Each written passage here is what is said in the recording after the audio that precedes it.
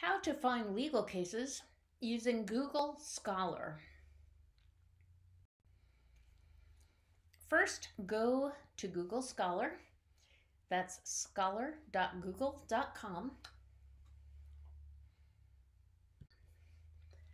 Select Case Law, and the options for different courts will then appear. Start your search with Vermont courts, so select Vermont courts. Then type in your search term. A drop down menu of fill in options will likely appear as you're typing.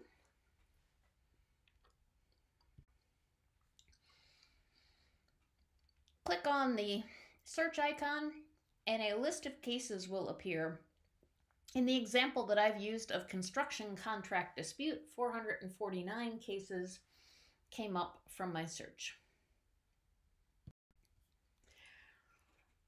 Toggle the arrow next to the word year in the upper right hand side of your screen and you'll get a few options on how to sort those cases. You can look for the most recent by just saying anytime since 2019. You can sort by date so that the most recent ones are on top, going back in time.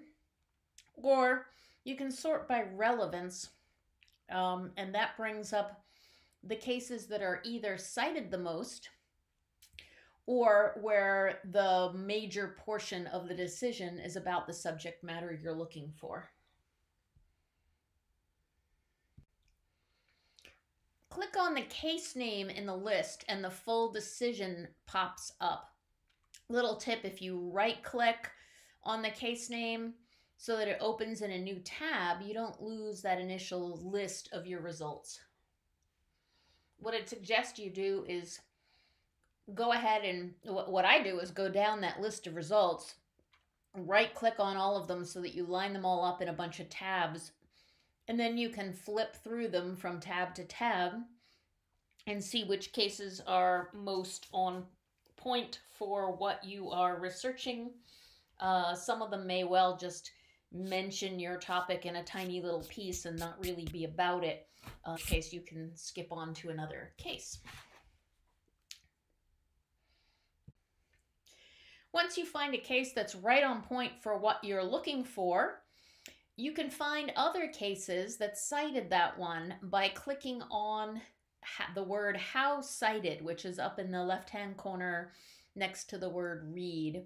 You'll see here that the heading, the case name, uh, in this case, the EBWS LLC versus Britly Corporation, a 2007 case in the Vermont Supreme Court. Uh, that title still remains up there, and what I'm looking at is a list of other cases that cited this case. So when the Vermont Supreme Court or other uh, courts look to this case as being precedent, and um, you can, it's just a little list of quotes um, each time that case has been cited. So you can skim down those quotes and see if any of those look like they're also right on point to what you are researching. And if the little quote provided in the list of cited cases looks promising, click on the hyperlinked case name at the end of that quote and you'll go straight to that case decision. Again, if you right click and open it in another tab, uh, you won't lose the original decision that you were looking at and that will speed your research. If you're not finding what you're looking for, go back to that initial case law search screen and try a different search term. Or try looking at federal cases. Uh, Vermont is, of course, very small and has very uh, proportionately small number of case uh, reported court cases compared to other states or the body of federal law. And so you may find that if you're researching a very particular topic, um, like liability of nail salons for using the wrong color polish, uh, you're not likely to find a case on that subject in Vermont. But if you look federally or you look to other states, uh, who knows, you might.